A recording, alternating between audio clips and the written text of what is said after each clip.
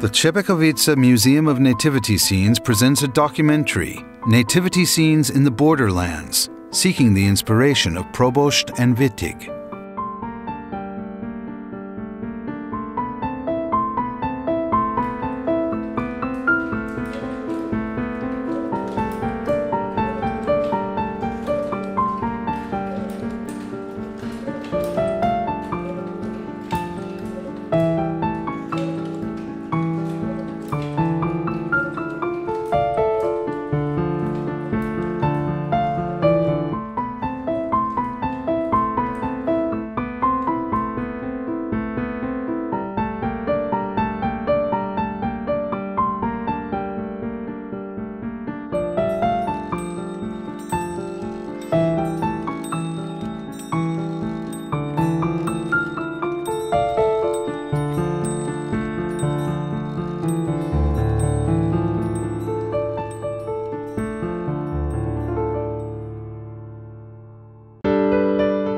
The town of Třebechovice pod Orebem lies 13 kilometers east of Hradec Králové. At the time of the Hussite Wars, the town became the center of the Hussite movements of the Orebites. The Polish village Wambierzyce, which is situated near the town Radkov at the foot of the Stolowy Mountains, is a pilgrimage town with a basilica.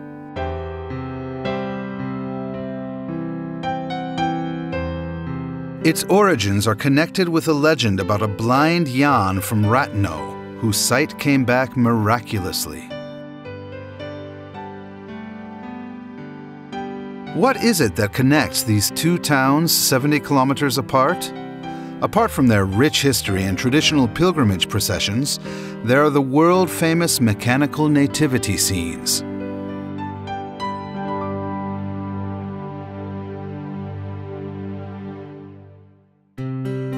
The creators of mechanical nativity scenes carry on the traditional creation of static nativity scenes, which at one time were built plentifully in nearly every household. For some people, the Holy Family was enough, while others showed off with an extensive collection created over several generations. Rich scenes, beautiful countryside, and a number of figures from various craftsmen were the honest and patient work of all nativity scene makers.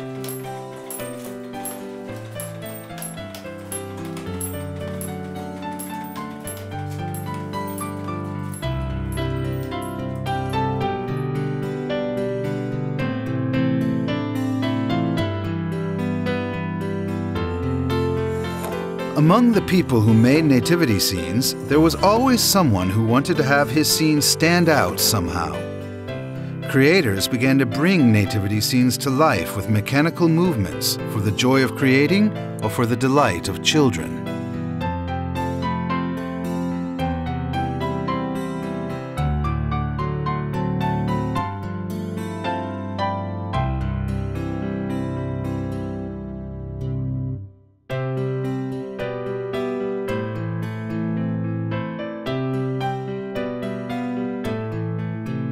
Most moving nativity scenes were created in the second half of the 19th century and the first half of the 20th century.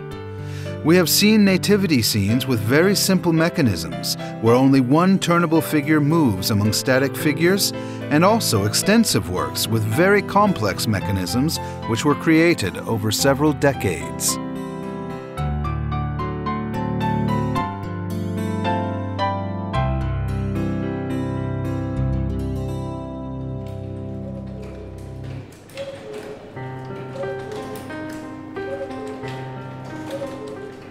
And it is exactly such a mechanical nativity scene which was made by Josef Probošt as his life work, which we can find here in the Třebechovice Museum of Nativity Scenes. The all-wood monochrome nativity scene by Josef Probošt with a length of 7 meters is a generally recognized world rarity.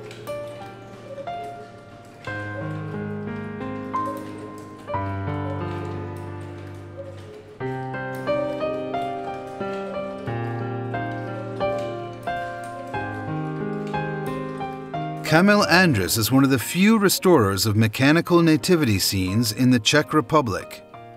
He knows most of them in detail and, being a native of Třebechovice, he continues to search for Probošt's original inspiration as well as for similarities of his scenes with the works of other authors. Probošt's nativity scene was originally built as a corner scene placed on wooden fitting trestles with manually powered mechanics. Later, it was rebuilt by the author into an upright position in a shape reminiscent of a large box nativity scene. Josef Probošt was working on his nativity scene for a period of 40 years until his death in 1926. Nine years after Probošt's death, the nativity scene was fixed onto this adjusted metal undercarriage, where it remains until this day. In the 1930s, the original manual handle drive was replaced with a small electric motor, which keeps the whole nativity scene moving up until today.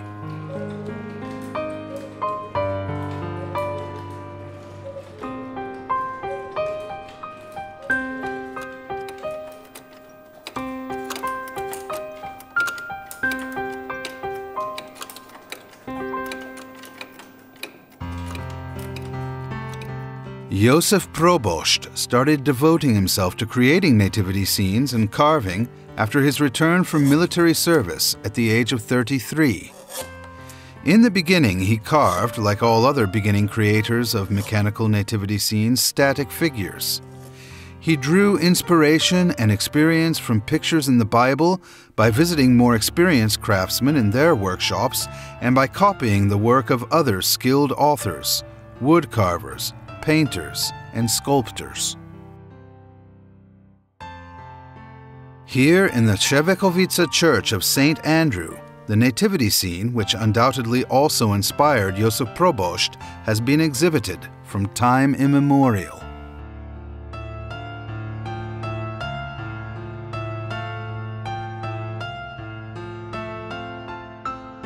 The signature of Probošt's wood carving work is obvious not only in the rendering of the hand laid on the small casket, but also in the expression of the page and his hair.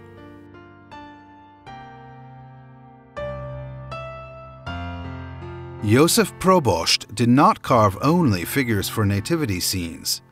He was also inspired by the statue of Saint Wenceslaus situated by the stairs leading to the mountain Oreb.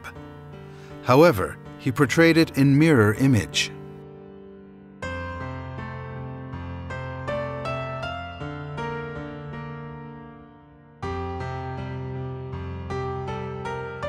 He was also inspired by his neighbor, Ludwig Fabian, who used to come to steal his pears. Josef Probošt even placed him in the nativity scene twice. The first Probošt's figure carvings are characterized by imperfect anatomy, simple drapery, and the signature of a folk carver. Being a trained carpenter, he understood work with wood and he continued to refine his carving skills.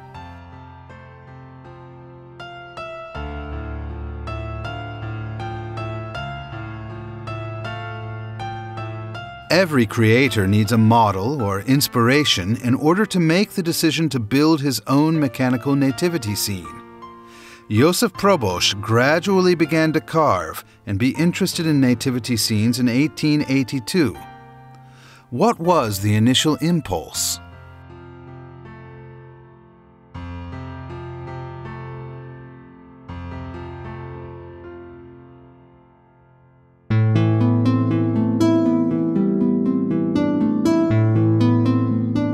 In the same year, in 1882, a locksmith, Longin Wittig, finished and exhibited his mechanical nativity scene in the nearby Polish town of Wambierzyce, where a procession would go from Třebechovice.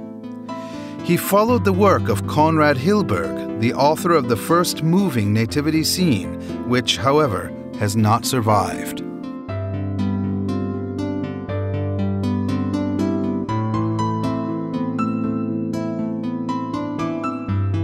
Longin Wittig came from a family where building nativity scenes was handed down from generation to generation. but only he decided to create his own mechanical nativity scene. He began working on the mechanical part of the scene in 1850. Wittig's nativity scene was designed as a large boxed nativity scene 4 meters long. The crib is polychromatic and the countryside was created from ply paper, wood, and the products of nature.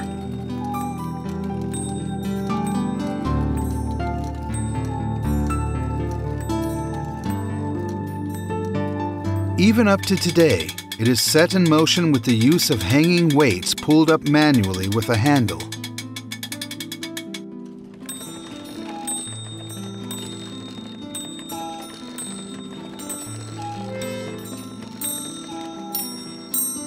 Longin Wittig settled down with his family in Wambierzyce in 1882 in the house where the nativity scene is still situated today.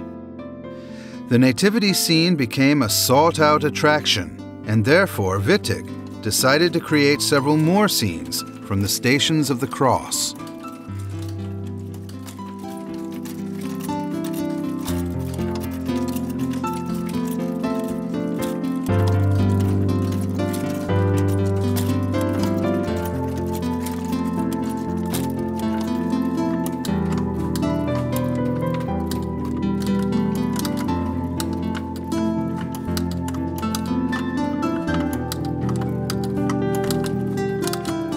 Longin Wittig died in 1895, and his son Hermann began to look after the nativity scene. He followed the family tradition and enriched the scene with the following scenes the killing of the babes upon the order of King Herod,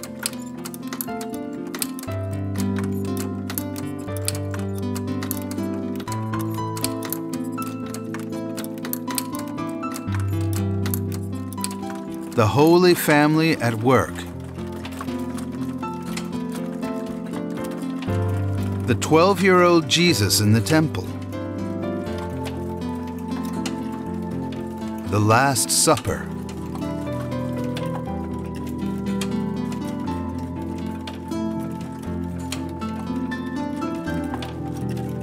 The Revelation of Holy Mary of Lourdes.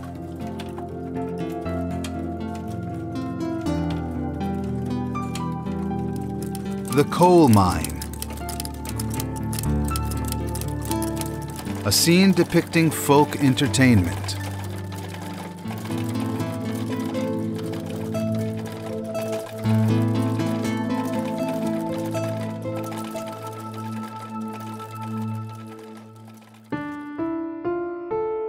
A Třebechovice native, Jan Kupka, known as Podwinicki, used to lead processions from Třebechovice to the renowned village of Wambierzyce. He undoubtedly told Probošt about Wittig's nativity scene, which he had seen in Wambierzyce. Therefore, it is also very likely that once Probošt himself had taken part in a procession, and Wittig's nativity scene had charmed him so much that he decided to build his own moving nativity scene. We believe that it was at that point when Probošt uttered his memorable sentence I will build a nativity scene which nobody far and wide will have, and to which the Emperor himself will come to bow. It is also possible that the pilgrimage was visited by a very skilled woodcarver, Josef Kapucián, who masterfully carved most figures for the scene of Josef Probošt.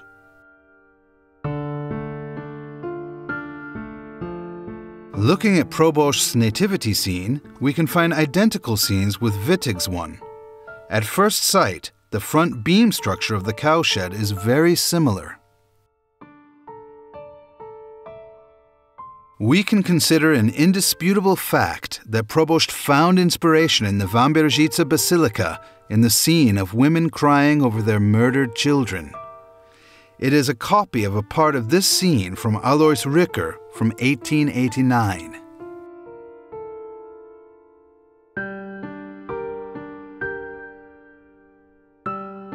Furthermore, we can assume, based on the results of ongoing research, that the way the sky was created in Probošt scene was also inspired by the Tyrol carving of the Assumption of Holy Mary in the Wambierzyce Basilica.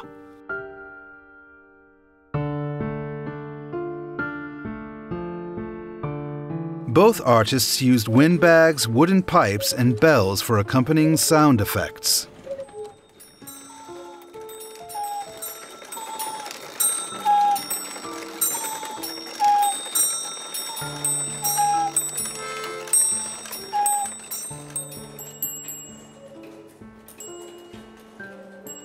Furthermore, we can find here a scene with miners mining coal where we can see a significant similarity with these figures of miners pushing carts.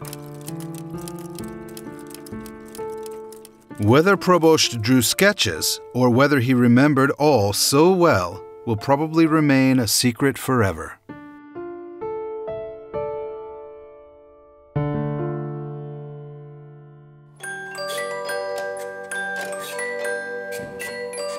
Creation of mechanical nativity scenes spread around the area of Podkrkonosze and the foothills of the Orlické Mountains at the end of the 19th century. There was said to be a walking nativity scene in nearly every house. Joachim Metelka from the town of Jilemnice began to work on his corner mechanical nativity scene, driven by three weights and one spring in 1883. A seemingly chaotic tangle of ropes, strings, metal, and wooden toothed wheels, rods, and cams bring over 140 figures into motion. The authors looked for inspiration not only in the stories of the Bible, but also in traditional crafts or often in the hard labor of miners.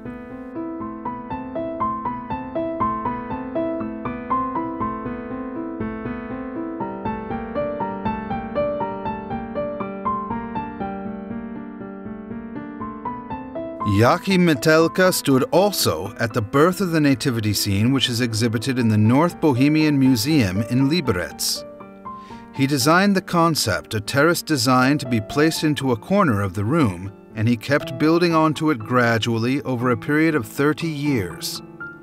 His son, Václav, was a very talented helper who, after his father's death, made the nativity scene smaller and gave it its current look.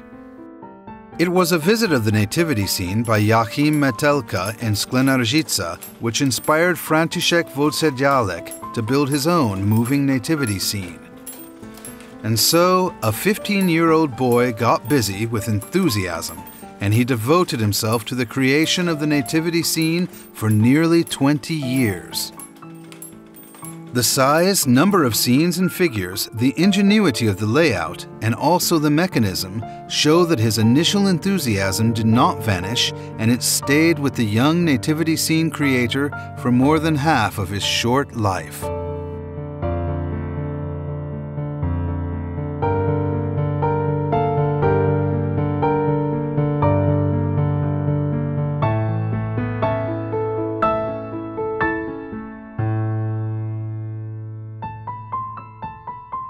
Creation of mechanical nativity scenes is very demanding and lengthy.